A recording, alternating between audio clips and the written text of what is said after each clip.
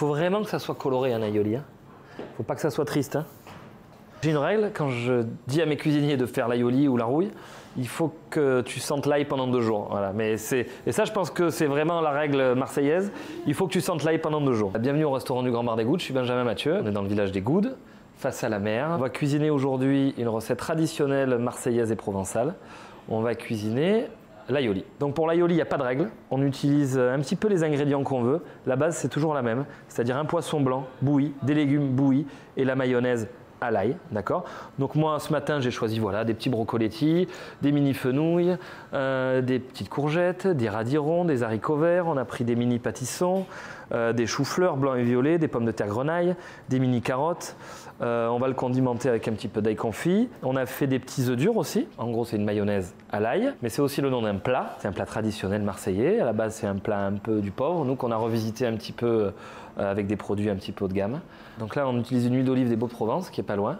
Et on va s'en servir donc pour mettre dans notre bouillon, pour cuire notre poisson et pour monter l'aioli. Il y a autant de recettes d'aioli qu'il y a de cuisiniers. Hein, si tu veux, c'est euh, avec les légumes que tu trouves au marché, les légumes de saison. Certains mettent des crevettes, certains mettent des moules. Euh, moi aujourd'hui, je t'ai fait rentrer des bulots, je vais mettre des palourdes dedans. Dans un aioli classique, euh, on utilise de la morue, des salés ou du cabillaud.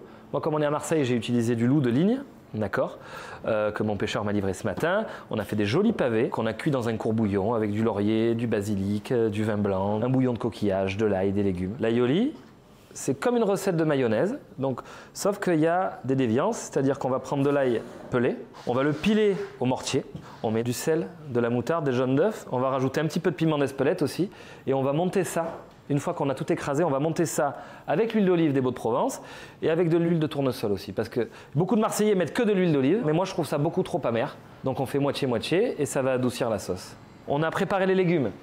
On les a blanchis dans un bouillon, d'accord? Donc blanchis, on les a ébouillantés quoi. On a cuit des bigorneaux dans le même bouillon. On a ouvert des palourdes qui sont juste là dans le bouillon. Pas tout le monde met du piment dans l'aioli. Moi j'en mets. Moi pour moi, faut que ça ait du caractère. Donc il faut vraiment l'aioli, il faut que ça soit généreux.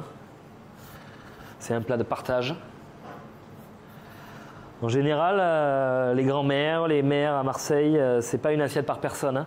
C'est tu prends un joli plat, même ces, jolis plats là comme ça, tu mets tout le poisson bouilli, tous les légumes dessus, tu mets autour de la table et tout le monde tape dedans, tout le monde se sert. Il est prêt. Là, il, il, ils sont bien l'ail, il est bien assaisonné. Les légumes, ils sont bien assaisonnés aussi. Où est-ce que tu as appris cette recette? Bah, Tu sais, je suis cuisinier moi depuis que j'ai 15-16 ans. Je suis marseillais, donc je sais pas, ça s'explique pas en fait. Je, comme la soupe de poisson, tu sais la faire, la bouillabaisse, tu sais la faire, l'aioli, tu sais la faire. Euh, je saurais pas te dire. Je sais le faire parce que je suis marseillais.